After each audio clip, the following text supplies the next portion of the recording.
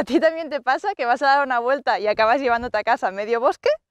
Antes de poner todo esto a nuestros loros para que jueguen, hay que limpiarlo y desinfectarlo bien. Por eso hoy vamos a ver tres maneras de limpiar y desinfectar de forma rápida y sobre todo eficaz. Ah, y quédate hasta el final, porque si no conoces el último producto vas a flipar en colores.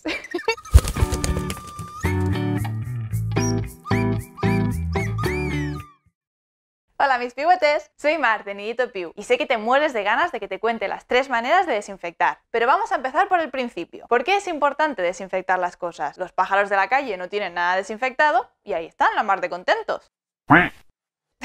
Resulta que el sistema inmune de la mayoría de animales se forma gracias a la inmunidad innata y a la inmunidad adaptativa o adquirida. Innata significa que ya nacen con ella, es decir, que su cuerpo neutraliza de forma natural según qué patógenos. Pero por contra, la inmunidad adaptativa se va adquiriendo a lo largo del tiempo. Según con qué patógenos se enfrente el animal, se van desarrollando o no mecanismos de defensa. Cabe decir que cuando el sistema inmune no puede hacer frente a estos patógenos o a estos elementos extraños, el animalito enferma o directamente muere. Aunque suene cruel, así funciona la selección natural. ¿Pero por qué te ríes? Tú estás muerta. Así que en resumen, como los pajaritos de la calle siempre han estado expuestos a estos elementos extraños o patógenos, su sistema inmune ya se ha adaptado. Pero el sistema inmune de los loros que tenemos en casa no ha tenido esta oportunidad, así que más vale prevenir que curar. Aclarado esto, vamos al lío. Tres maneras de desinfectar las cosas para que tu loro no se muera. Vale, creo que me he pasado de dramática, lo repito. Tres maneras de desinfectar las cosas. Y punto. En los tres casos, el primer paso es limpiar las cosas con agua y un cepillo o un estropajo y así quitamos la suciedad más evidente. Manera número 1. Meterlo en el horno. Precalentamos el horno a 130 grados y una vez llegada a esa temperatura, lo dejamos unos 15 minutos. Esta tiene que ser la peor receta del mundo. Cuidadín que no quiero que ningún pigüete salga herido y menos aún que se le queme la casa. Hay cosas que es mejor no meterlas en el horno, o porque se incendian o porque se deshacen. Así que por favor, un poquito de sentido común. y cuando pasen los 15 minutos, recuerda que no lo puedes coger directamente con las manos, que quema. Usa unos guantes o espérate a que se enfríe, que parece muy obvio. Pero a veces nos pueden las ganas y luego pasa lo que pasa. Que a ver, que no lo digo porque a mí me haya pasado ni nada, ¿eh? Se ha quemado más de una vez por impaciente y seguramente volverá a quemarse. Manera número 2. Hervirlo con agua. En una olla normal y corriente ponemos agua del grifo y a hervir. Lo ideal es que esté unos 15 minutitos más o menos. Luego lo escurrimos o lo dejamos secar al sol. Esta es quizá la manera más económica de desinfectar, ya que el gasto energético del horno suele ser bastante mayor. Por otro lado, no nos carguemos las ollas de casa. Si me aceptas un consejo, límpiala tan pronto como acabas de desinfectar. Que no es que a mí me haya pasado nunca nada, yo solo lo digo. Pequeña actualización sobre las piñas. Y es que la olla en la que lo he hervido, pues creo que ha muerto. Llevo un rato rascando y esto no se va. Después de ver esto te digo yo que las piñas mejor con la siguiente técnica. Manera número 3. Productos desinfectantes. ¿Qué pasa cuando lo que queremos desinfectar es tan grande que no cabe ni en el horno ni en una olla? O cuando le queremos poner elementos frescos, como por ejemplo ramas de bambú o de olivo. Permíteme que te presente al rey de los productos de limpieza para mascotas, el amo de la desinfección, el archifamoso F10.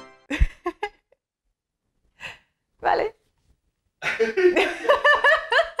Este producto es completamente inofensivo para nuestros loros. De hecho, es el que se suele utilizar en zoológicos, veterinarios, incluso en los santuarios, protectoras o centros de rescate. Quizá no conocías el F10 y pensabas que en este apartado te iba a hablar de la lejía y del agua oxigenada. Pues no.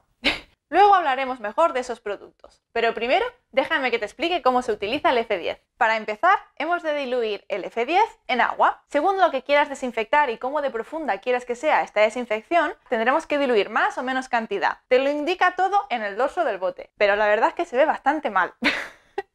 Así que te lo dejo todo bien escrito en el link que encontrarás en la descripción de este vídeo y en el primer comentario. Te dejo también en ese link donde puedes comprar el F10. Pongamos que ya has entrado en el link y ya has preparado la mezcla según lo que tú necesites. Primero le pasaremos un agua a lo que queremos desinfectar y luego lo pulverizaremos con F10 como si no hubiera un mañana. Según la cantidad que hayamos diluido antes, tendremos que dejarlo actuar más o menos rato. No te preocupes que te lo dejo todo escrito en el link. y luego podemos enjuagarlo con agua y dejarlo secar. Este último paso, el de enjuagarlo con agua, realmente te lo podrías saltar, porque al no ser tóxico para ellos, no les haría ningún daño entrar en contacto con el F10. Pero a mí, sinceramente, me deja más tranquila pasarle una agüita y dejarlo libre de potingues. Como comentábamos antes, quizá no conocías el F10 y pensabas que ahora hablaríamos de la lejía o del agua oxigenada. Te cuento, realmente podríamos llegar a conseguir más o menos los mismos resultados, pero la lejía y el agua oxigenada sí son perjudiciales para nuestros pequeños, así que hay que saber utilizarlas bien. Y aquí es donde a mí me matan. Según donde lo leas, hay que diluirlo en una cantidad o en otra de agua. Además, además se ve que las proporciones para cantidades de agua y de lejía, por ejemplo, dependen del cloro activo que lleve la lejía, y esto es diferente según cada marca. Luego hay quien dice que no, que no hace falta diluirlo, que lo puedes utilizar tal cual, simplemente hay que dejarlo secar al sol, y entonces ya se va todo lo malo. Luego hay que tener en cuenta que la lejía, por ejemplo, hay que utilizarla en un lugar ventilado, porque los vapores que desprenden son perjudiciales para nuestros loros. En fin, hay muchas fuentes y ninguna dice lo mismo. En lo único en lo que coinciden todas es en el hecho de que bajo ningún concepto pueden quedar restos de estos productos. Yo ahí lo dejo. y no sé tú, pero a mí me quita el sueño pensar que la haya podido hacer mal, que la haya enjuagado mal o lo que sea y que mis pequeños puedan intoxicarse. ¡Oh no! ¡Van a morir! Así que prefiero mil veces el F10 y así duermo tranquila.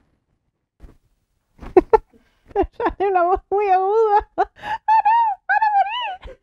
Comentarte también que hay elementos que no hace falta desinfectar, como por ejemplo los sustratos para las bandejas de forrajeo o todo lo que compres que ya esté pensado específicamente para mascotas. Puedes desinfectarlo por si acaso, pero seguramente no haría falta. En el caso de las hueveras, los tapones de botella, los plásticos y los cartones reciclados en general, pasan dos cosas. Primero, que no podremos utilizar algunas de estas técnicas sin que se desintegren. Y segundo, que son bastante inocuos, es decir, que no le harán ningún daño. Simplemente procura que esté bien limpio y ya está. Al loro, la desinfección de metales es un mundo aparte. Y ya lo hablaremos otro día porque no quiero que este vídeo se haga eterno. Además, seguro que te mueres de ganas de ponerte a desinfectar cositas para hacerle una bandeja de forrajeo a tus peques. Espera, ¿que no sabes qué es una bandeja de forrajeo? Hmm, anda, te dejo aquí este vídeo en el que lo explico. Y si este vídeo ya lo has visto, te dejo este otro. Corre, a verlo. Y no te olvides de darle al like si te ha gustado este vídeo. Y si aún no lo has hecho, suscríbete. Un abrazo, mis pihuetes. Ya está.